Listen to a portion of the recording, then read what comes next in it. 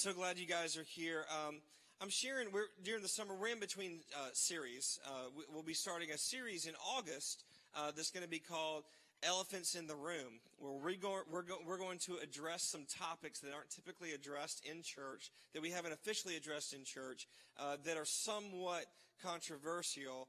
Uh, and so we're just going to go ahead and bite the bullet in all of its beautiful awkwardness and address these things. Make sure that the Word of God goes forth in truth and in power. So that's going to be coming in August. But for now, we're kind of preaching as the Lord leads from week to week. And um, in light of all this, uh, I've heard a lot about love recently. Love wins. Um, that you know, love is prevailing and all that. And I believe love wins. I believe love is prevailing. I think you have to define what love is. I think you have to be careful. But I, have been thinking, you know, what what does love look like for the believer? What does love look like? And, and to me, love has a balancing act that the Lord is asking us to do. Um, so I, I want to look at the scripture here. Uh, we're going to go to um, John 13 because Jesus instructs us to love like he does. Jesus instructs us to love like he does. And so, John 13, you're going to see that, and you're going to see how important this is it says this So now I'm giving you a new commandment love each other. Just as I've loved you, you should love each other. Your love for one another will prove to the world that you are my disciples. Now, this is a huge, huge deal. Just, just so you know the context of this teaching, uh, they're at the Last Supper, right? Jesus is about to be betrayed. As a matter of fact, Judas has just left the room. Okay? Judas has left the room. Jesus is here with his disciples, and he starts his final moment of teaching with his now 11 disciples.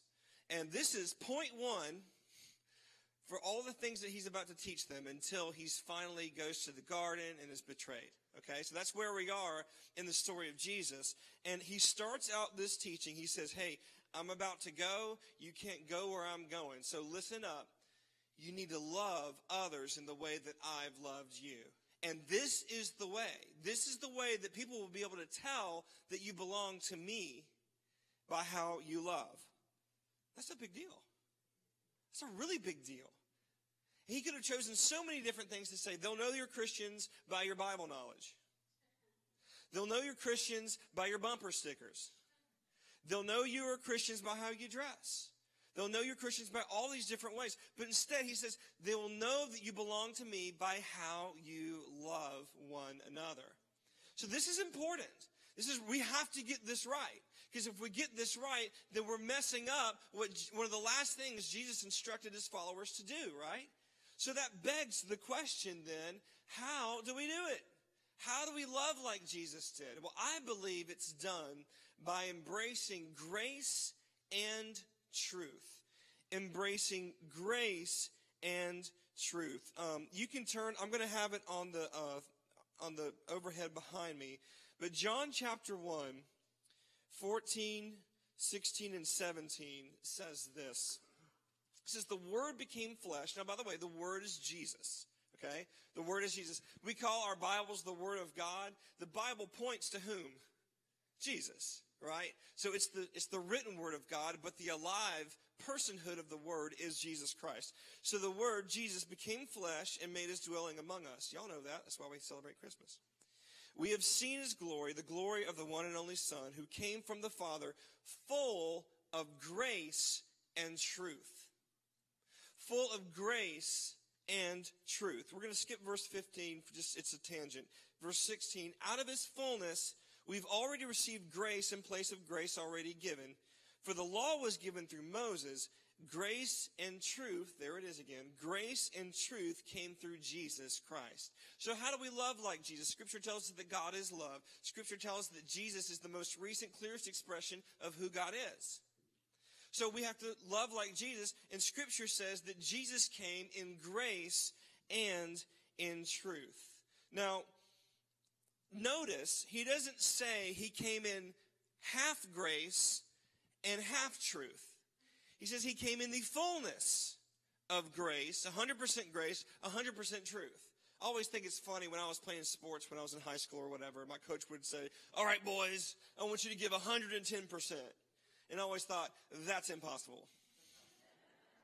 I mean, I get what you're saying. You want me to give my all, but my all is 100% mathematically. 100% is as much as if I were to give 110%, I would be exceeding my personal limits, and you're asking me to do something I can't do. And then he'd smack me, and I'd run laps. But as, as, as different as it sounds, we actually are called, and this is what Jesus, he was 100% grace, he was 100% truth. Now, in order to balance grace and truth, it, it takes equal parts. If you balance, you have to have the same amount on both sides. Uh, Chris, will you come and demonstrate something for me real quick? I have some weights down here. These are 25s and these are 10s. So, Chris's left hand is going to represent grace, and Chris's right hand is going to represent truth. Now, I want you, I want you to press those things. So put them up, and then and lift them up at the same time. How how is that for you? You doing all right? Okay. all right. Okay. Switch. Okay. Well, maybe we're out of balance. So let's switch hands. So let's put 10 in your right hand and 25 in your left hand. So let's do a little bit more truth and grace this time. How, how, how is that feeling? How are we doing? About the same. About the same. All right. Now put down uh, and, and get the equal amounts on either side. And he chooses the 25 because he's just like that. Yeah. Yeah. That's awesome. All right, cool. Now, if you've ever lifted weights, you know how. Thank you, Chris. Y'all give Chris a hand for his brute strength. He's made us all look like children. All right, so now if you've ever lifted weights, you know that if, if you were like to, to get on a, like a bench press where you lay down and you and you press up like that, if you put a 10 on one side and a 45 on one side, that's going to be a problem. See, in order to have balance, you have to have equal weights on both sides right? And so what the Lord is asking us to do is to have equal, equal weight of grace and truth. Now, first, we have to define these words. Grace, grace, you've probably heard God's unmerited favor. That's a good definition. This is the one that I like. It's God's willingness to work on your behalf even though you don't deserve it. God's willingness to work on your behalf even though you don't deserve it. Now, right now, there's a lot of teaching that's going out that says that grace and mercy are basically synonymous, that they mean the same thing. Mercy is passive. Mercy is relenting. If you smack me in the face and I don't smack you back, I showed you mercy. Okay? Because I had every right to smack you back according to the law, right? Right? An eye for an eye, tooth for the tooth, right? And you guys are like, yeah, man. So, so I have every right to do that, but I chose not to. I show mercy. I relent and I'm passive. What grace would do, though, is grace would sit down with the guy that smacked you and said, Hey, look, here's why you don't do this. And here's an anger management booklet. And here's what you can do to not do this in the future. See, grace is active. Grace is God's willingness to work on your behalf. And you don't deserve this. This is not something that you can do on your own. He does what you cannot do. Imagine that you are standing in front of a huge building and you've been summoned and you must appear inside that building at 1 p.m. this afternoon. And you go up to the building and, and, and you're looking at it and there's a big door. You try the door and it's locked. Oh no. If I'm not there by 1 p.m., stuff's going to go down. So I walk around the side. I, oh, there's another door. Great. Maybe this one's open. It's locked. I go all the way around. Every door is locked. Every window is locked. I can't get in the building, right? But I've been called to do that. I'm supposed to be in there by one o'clock.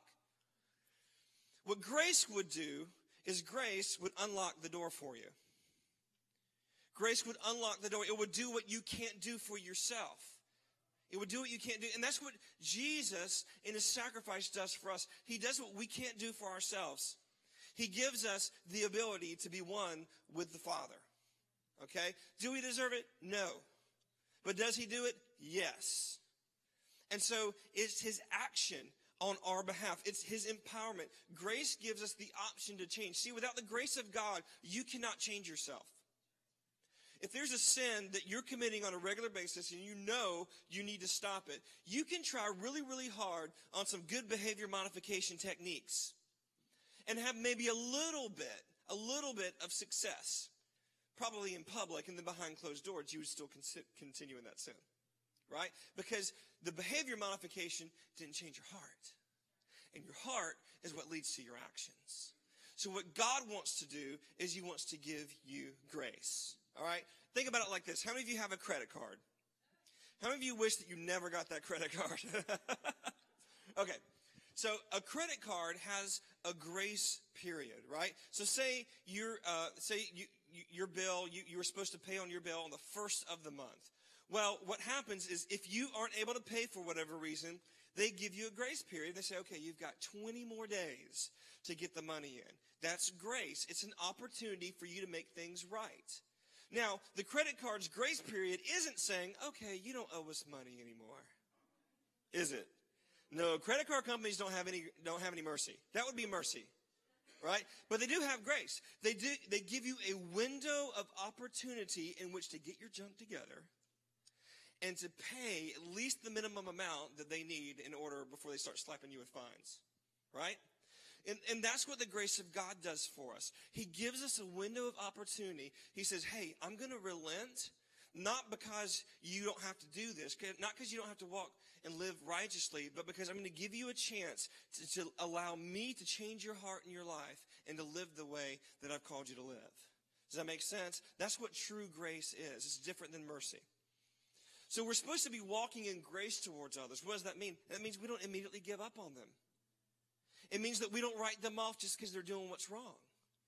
It means that just like their heavenly father who thought that Jesus' blood was worth their lives, that we treat them according to, to what Jesus paid for them. Amen? So that's what walking in grace is. Well, what about truth? Truth is what's right according to God. It's simply what truth. Truth is what's right according to God. Now we live in a pluralistic society where people think that there are all these different versions of truth. Well, this is my truth. This is what I believe. And this is your truth. This is what you believe. And let's just let's just agree that we are we're both true. Well, that doesn't make any sense. By pure definition of truth, only one you know only one can be right. Are, are you with me? And so truth is always truth no matter what. If, if, you feel bad about it, if you don't like it, it doesn't matter. It's truth. And if anyone ever tells you there's no absolute truth, then just ask them, is that true? And if they say yes, then they just exploded their own argument. okay?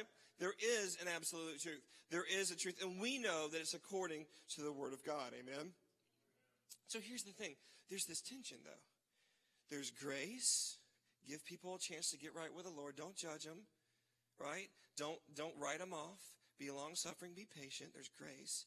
And there's truth. What they're doing is wrong and they better change.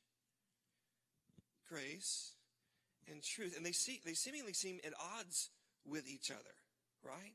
And and we know this because most of us choose one. Most of us fall either in the grace camp, oh just we're just gonna love people, we're just gonna love them. And then others fall into the truth camp. Hey, man, you can't be around me if you're doing that. Well, well, what's the deal? The deal is, is that depending on how we were raised, we tend to go towards one of these or the other. If you're a truth person, then grace seems really uncertain, very inconsistent, and it's kind of confusing. Well, why am I letting them continue to do what's wrong even though I know it's right? It, it, just doesn't make a lot of sense if you're a truth person. If you're a grace person, truth seems arrogant, unaccommodating, and just too simplistic. Look, it's not that simple. And the truth guy's over there going, yeah, it is. Here's the scripture. And the grace person's going, yeah, but they don't know. And, and so there's this tension, right? Guys, I, I don't want you to get rid of the tension. I want you to live in the tension. That's what Jesus did. As a matter of fact, walking in grace and truth led to some really uncomfortable moments with Jesus. Where he was, where he was doing the fullness of grace in the fullness of truth.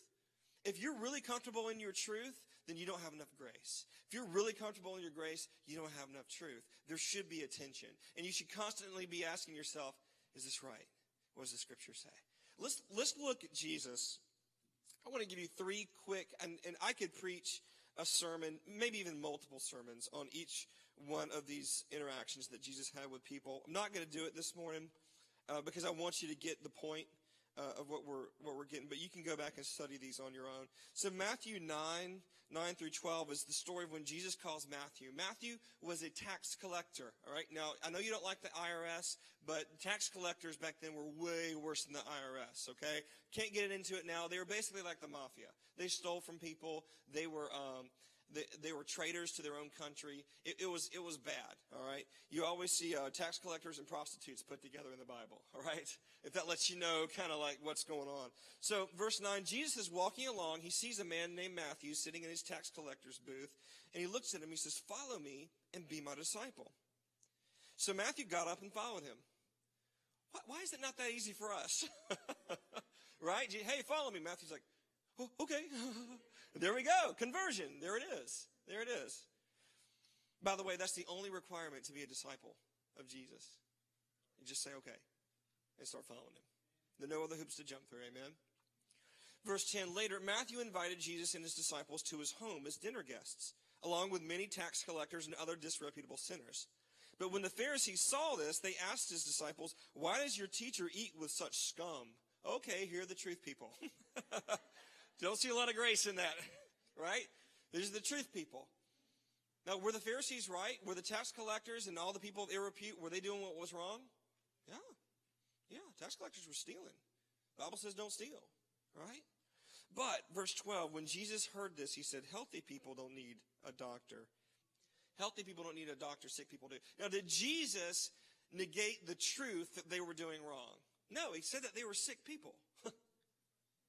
He said that they were in need. But, but did that mean that he shunned them and he pushed them away? No. It said, my gosh, you of all people need to understand the grace of God.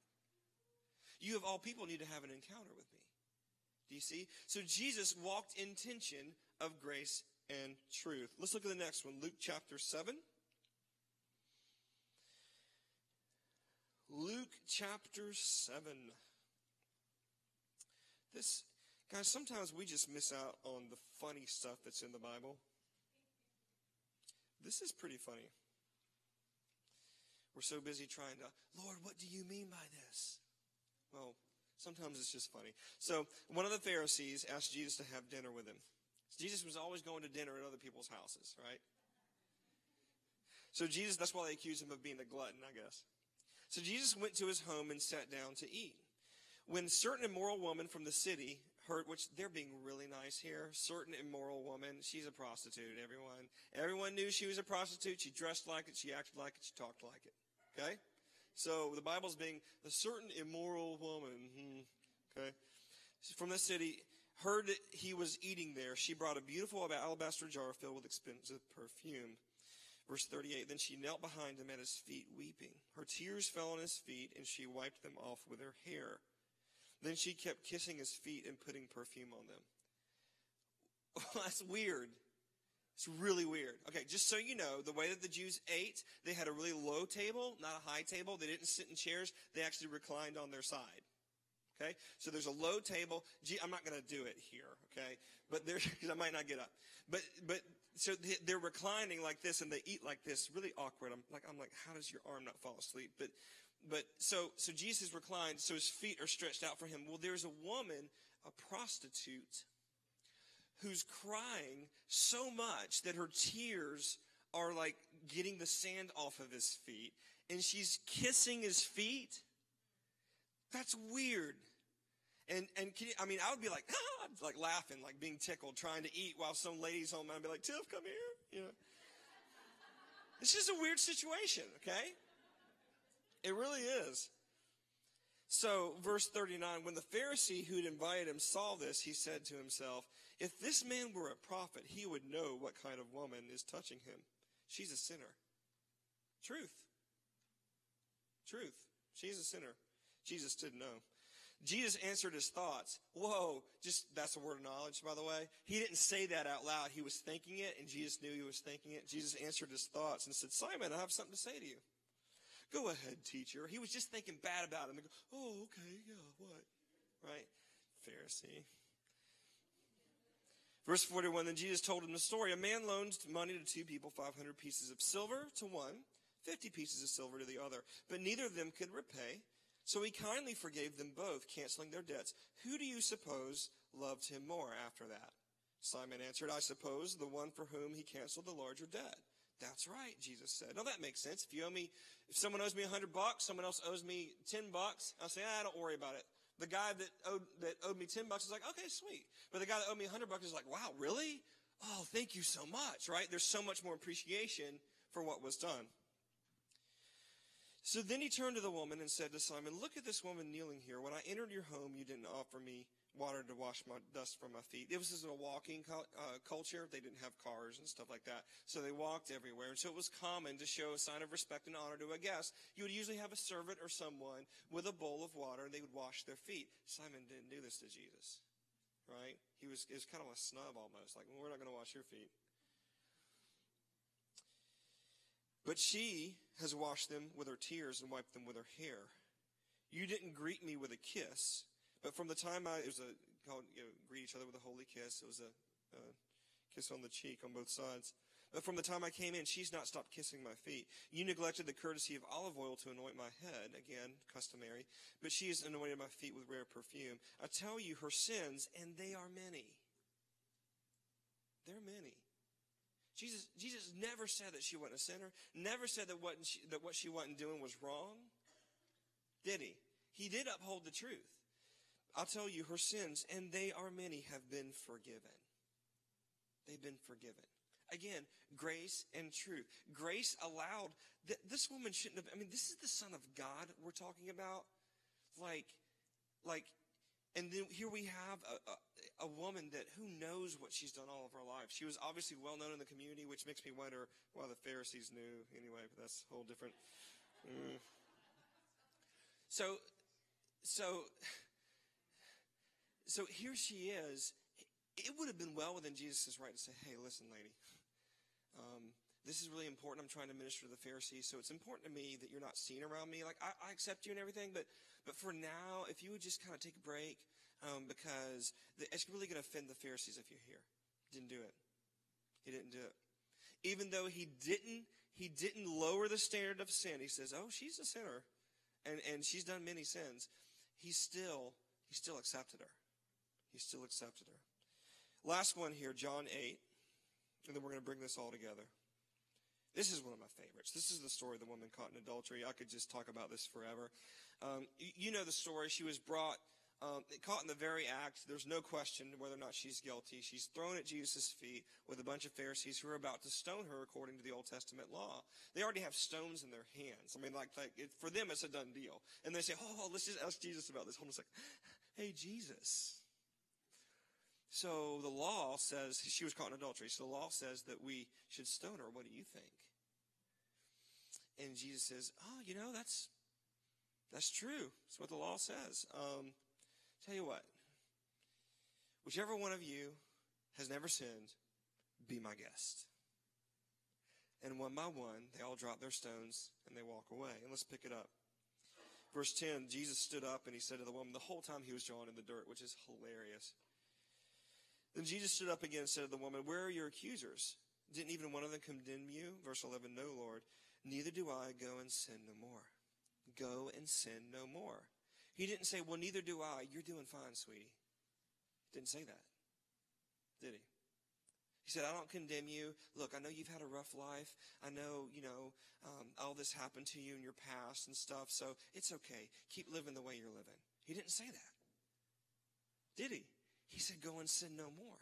Now, first, he defended her and he accepted her. We've talked about that. That's dad's way. The father's way is to defend, accept, then disciple. We try to disciple before we defend and accept. We have it backwards. But according to scripture, we defend, we accept, then we disciple.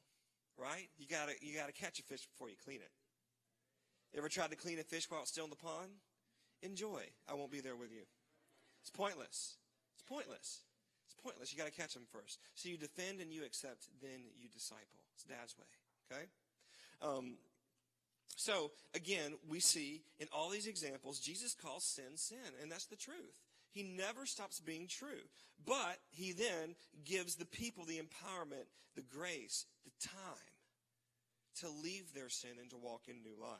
You see how that works? See, we've made a mistake as the church. We, we've tried to either get rid of truth or get rid of grace. But you can't get rid of truth because truth correctly identifies the problem. Y'all, y'all know the scripture that says that you shall know the truth and the truth shall set you free. It's John chapter 8. It's this, it's the same scripture, same chapter where we just were with a woman that was caught in adultery. A bunch of people get saved. Verse 30. Many who heard him, Jesus, say these things believed in him. So they believe in Jesus. So what does he say? He says, when you, um, he says, verse 31, Jesus said to the people who believed in him, if you are truly my disciples, if you remain faithful to my, uh, sorry, you are truly my disciples if you remain faithful to my teachings, and you will know the truth, and the truth will set you free. That's the context of that verse. We've kind of ripped it out and turned it into a bumper sticker.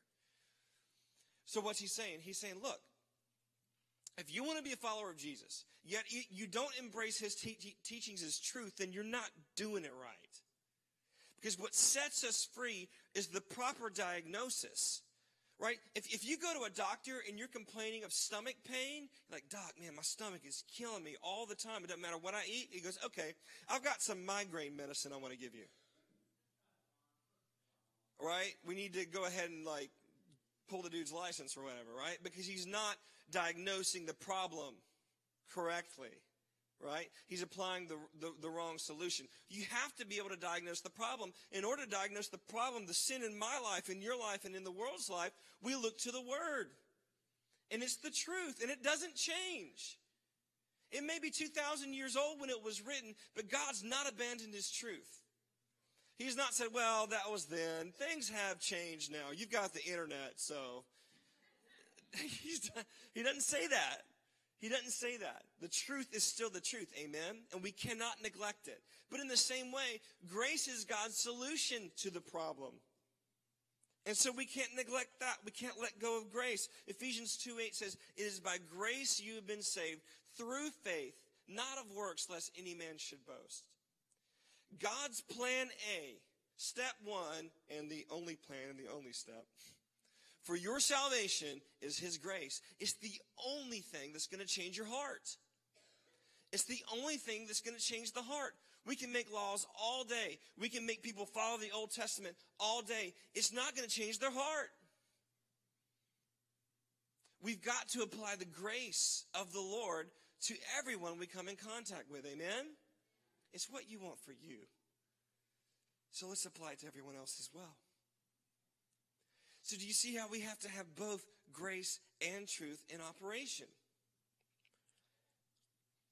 I want to share the scripture. This is the last thing I want to share with you. This is Romans chapter 2, 3, and 4. It's in the message. I love the way it phrases it. It says, You didn't think, did you, that just by pointing your finger at others, you would distract God from seeing all of your misdoings and from coming down on you hard? Or did you think that because He's such a nice God, he let you off the hook. Better think this one through from the beginning. God is kind, but he's not soft. In kindness, he takes us firmly by the hand and leads us into a radical life change. Isn't that good? God is kind. He is merciful. He loves you. He's got wonderful things for you. And he doesn't withdraw his love for you just because you're doing something wrong. But He's not soft on sin. He knows what it does to you. And he's not willing to let you stay in your sin because it hurts you and it hurts the others around you. He's not willing to amend his truth because it's not what's best for you. So, guys, the question for us, the church, this morning is are you walking love's balancing act?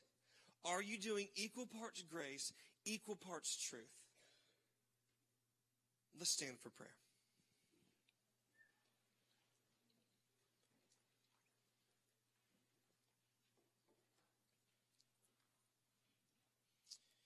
Thank you, Lord. I just want us to take a moment and do personal inventory. You can close your eyes just so there are no distractions. And I want you to ask the Holy Spirit, say, Holy Spirit, what is my tendency? Am I a grace person? Am I a truth person? Or am I already ba- balancing the two? Just ask Him. This is just for you. Just for you and the Lord. Be honest. Do I tend towards grace? Do I tend towards truth? Now, here's your prayer. If you're a truth person, congratulations. That's awesome. You need to ask the Lord for more, for more grace for others. Just ask Him right now, under your breath, in your own words, Lord, Lord, teach me how to walk in grace. If you're a grace person, congratulations. The world needs grace. But you need to make sure you don't neglect the truth. So just under your breath right now to the Lord, just say, Lord, teach me your truth. Help me not back down from what your word says is true. If you feel like you're walking in, in balance, in grace and truth, I want you to pray to the Lord and say, Lord, put more weight on each side. Teach me how to do even more. Hmm. Thank you, Lord. You have full permission, full access to my heart. Thank you, Lord. Amen. Amen. We're going to have the altar ministry team. They're going to be on this side of the stage. I went about 10 minutes over. Thank you guys so much for staying with me. Uh, I, I, really appreciate it. Everyone's gone from the restaurant now. So you're going to be able to go straight there. so it's all good. If you need something, wow, what a, what a great morning. Holy cow. We saw people get healed, right? We felt the presence of the Lord in like a manifest way. And I think the preaching was awesome. So it was a good morning. But, but if we didn't, if we didn't call out like something that you're specifically dealing with and you want prayer, it's what these guys are for. They would love to pray with you. They'll stay here as long as they need to to pray with you. They love you. They've been believing God for you before you even knew they were an option for you. Okay? So come. Uh, I'm going to pray a prayer of dismissal. You'll be uh, available to leave when I say amen and uh, either leave and go and be an awesome light to the world or leave and come here and receive what you need from the Lord. Amen. Amen. Let's pray. Father, thank you for this morning. Lord, you're so good to us. You're so full of grace and you're so full of truth. And Lord, we want to be like you. Who else is there to be like? We want to be like you. So help us walk in grace and truth. Lord, help us be a people, Lord, that can balance, balance love's balancing acts, Lord. And as we go, Father, as we go, Father, may we just, just diffuse your fragrance everywhere that we go. And may we have salty language, Father, so that people might be thirsty for you. May we shine our light, God, so that people might realize how dark they are. And we thank you, Lord, for your presence and your goodness. In Jesus' name, amen. Amen. Love you guys.